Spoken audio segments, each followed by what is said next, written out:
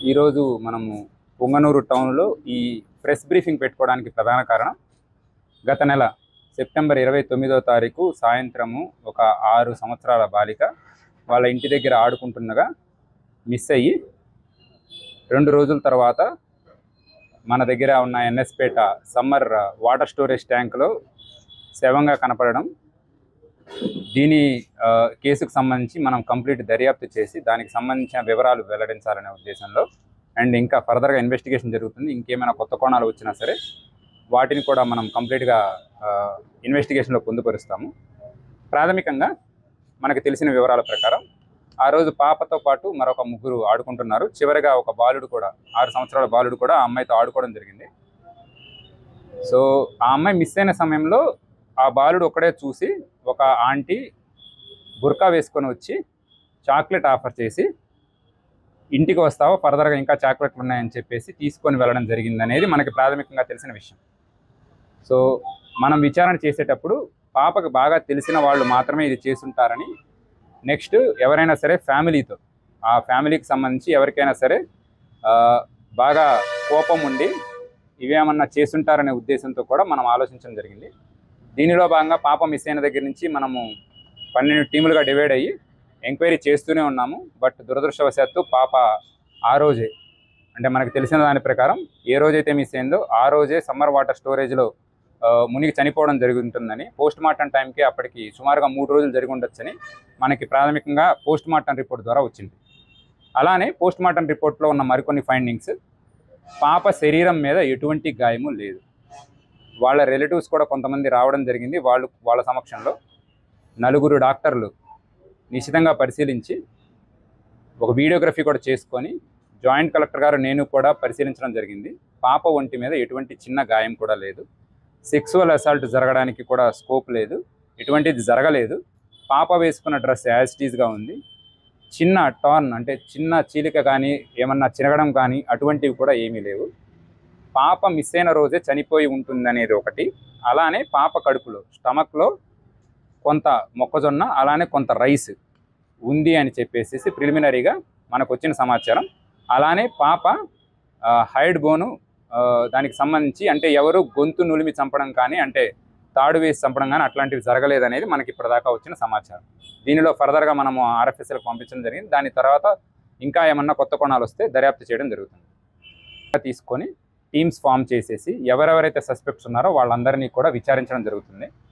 విచారించడం జరిగింది. సో ఈ విచారణ మొత్తం జరిగిన తర్వాత ఇప్పటి వరకు మనకు వచ్చిన దాని ప్రకారం వాళ్ళ ఫాదరు చాలామందికి అప్పులు ఇవ్వడం జరిగింది. వాళ్ళ ఫాదర్ బేసిక్గా ఫైనాన్స్ బిజినెస్ చేస్తుంటారు. రీసెంట్గా ఒక ఇల్లు కట్టుకోవడానికి కూడా తను కొంత అప్పులు చేయడం జరిగింది. పాత వాళ్ళు ఎవరైతే అప్పులు తీసుకున్నారో వాటి సకాలంలో చెల్లించకపోవడంతో తను కొంచెము స్ట్రాంగ్ లాంగ్వేజ్ వాడడము అలానే వాళ్ళని తిట్టడము బెదిరించడము సివిల్ కోర్టుకు వెళ్తామని స్ట్రెస్ చేయడము జరుగుతుంది. దీనిలో వాళ్ళ ఫాదర్ దగ్గర నుంచి సుమారుగా three and half lakhs three point six lakhs తీసుకున్న ఒక లేడీ ఇది మొత్తం చేసిందని మనకు ప్రాథమికంగా రుజువు అవుతుంది వాళ్ళ ఇల్లు కూడా సుమారుగా అక్కడికి వంద మీటర్ల దూరంలోనే ఉండడం జరిగింది. ఆ రోజు జరిగిన మనకి నివేదిక ప్రకారం ఏడు గంటల నుంచి ఏడున్నర మధ్యలో ఈ ఇద్దరు ఆడుకుంటున్నప్పుడు బుర్కా వేసుకొని ఆ లేడీ వచ్చి ఈ పాపతో మాట్లాడి ఆవిడతో పాటు తీసుకొని మరొక కుర్రాడు. అతను మైనర్ సెవెంటీన్ ఇయర్స్. ఆ లేడీకి రిలేటివ్ అవుతాడు. సో వరుసకి తమ్ముడు తమ్ముడు అని మాట్లాడతారు. సో ఆ బాబుతో పాటు తీసుకొని వాళ్ళ అమ్మగారిల్లు. అక్కడి నుంచి one and half kilometres distance ఉంటుంది. వాళ్ళ అమ్మగారి ఇంటికి తీసుకెళ్ళడం జరిగింది. ఈ కుర్రవాడు బయటే ఉన్నాడు చాలాసేపు. వాళ్ళు లోపల ఆ పాపతో చాలాసేపు మాట్లాడడం పాపకి ఫుడ్ కూడా పెట్టడం జరిగింది. ఇది జరిగిన తర్వాత ఆవిడకున్న కోపం మొత్తం ఆ పాప మీద చూపించడము. అక్కడే నోరు అరుస్తుందనే ఉద్దేశంతో నోరు ముక్కు నొక్కేసేసి చంపడం జరిగింది అనేది కూడా మనకు ప్రాథమికంగా తెలుస్తుంది. ఈ సమయంలోనే ఆ లేడీ ఎవరైతే సరే చేశారో ఆవిడ మీద పాప గీరినట్లు కూడా చిన్న చిన్న ఇంజురీ మార్క్స్ స్క్రాచ్ మార్క్స్ ఆవిడ చేతి మీద కూడా మనకి ఉండడం జరిగింది.